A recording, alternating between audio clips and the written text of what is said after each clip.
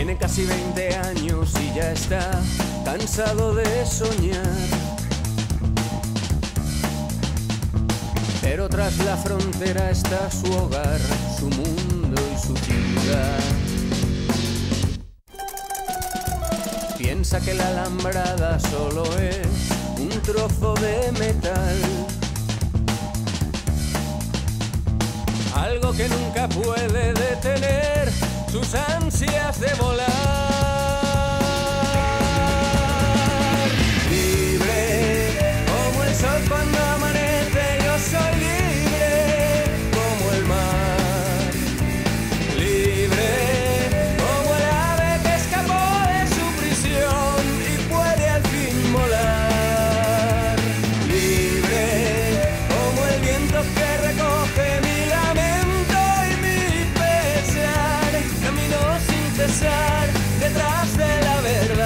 sabré lo que es.